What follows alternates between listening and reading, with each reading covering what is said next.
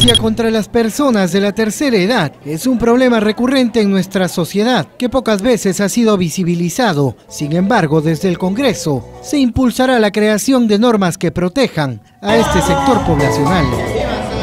Bueno, estamos revisando la ley del adulto mayor, estamos tratando de, ver el tema de la violencia, porque la violencia del adulto mayor nace en el hogar y eso hay que tratar de motivar a la familia, ¿no? dentro de los temas de los talleres, que es muy importante.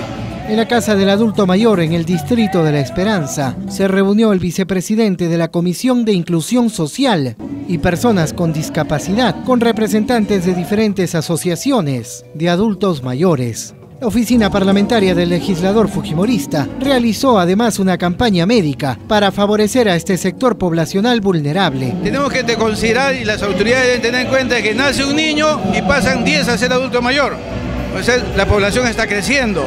Entonces tenemos que dar un poquito más de importancia al tema del adulto mayor. En La Libertad nosotros tenemos ocho centros de adulto mayor y ocho círculos de adulto mayor.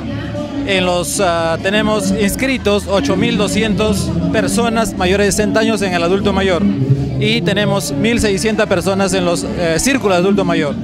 La región La Libertad cuenta con una población de 1.859.640 habitantes y el 9.8% representa al grupo poblacional del adulto mayor, es decir, 182.399 de sus moradores.